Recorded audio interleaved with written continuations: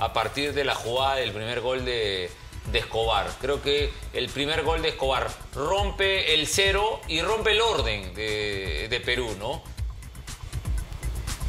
Y acá está, ¿no? El tiro libre que se genera tras una, una falta de, de Aquino, que ya lo hemos comentado, que bueno, se excedió el árbitro en cobrar una falta que no fue, pero en todo caso estaba parado Martins y está parado Es- Escobar.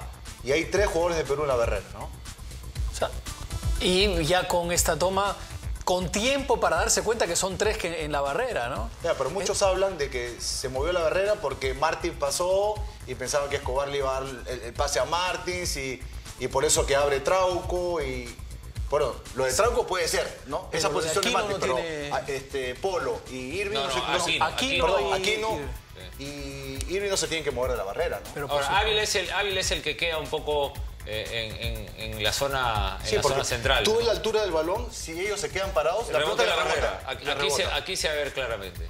La, la pelota le rebota Sí. si se quedan Si parados. la, si la barrera está junta, la pelota Sí, se impacta en la barrera. Totalmente, ¿no? Y por último, por último, dentro de que si habían tener, si teníamos que tener cinco, eh, O lo que quieras, no te puedes voltear.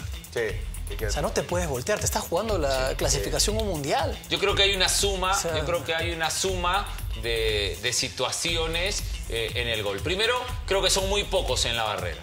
Tú lo apuntaste, tú lo haber- apuntaste sí. en el momento del relato. Segundo, eh, o- o- un agregado al hecho de que son muy pocos en la barrera. Si Martins, tal vez el mejor cabeceador junto a Raldes, los mejores cabeceadores de, de Bolivia, si Martins está parado para una posible ejecución, no va a ser una jugada de centro, va a ser un remate al arco. Ah, directo. Eh, eh, una suma de situaciones. Pocos en la barrera, pequeños y encima se abre.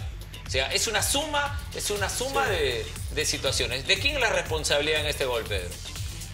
Mira, para mí hay una responsabilidad directa del portero, porque en la no conformación de la barrera amplia que tú reclamas y con la que yo coincido, el arquero entiendo debe pedir un jugador más. Entiendo por lo que yo entiendo, por lo menos, ¿no es cierto? O sea, a mí me parece una barrera de tres. Si los tres son chicos, si los tres son chicos, además, y ocurre que se abren, como ha ocurrido en esa jugada, a mí me parece que la barrera estuvo mal armada. Prácticamente definición, no hay, o sea, no hay oposición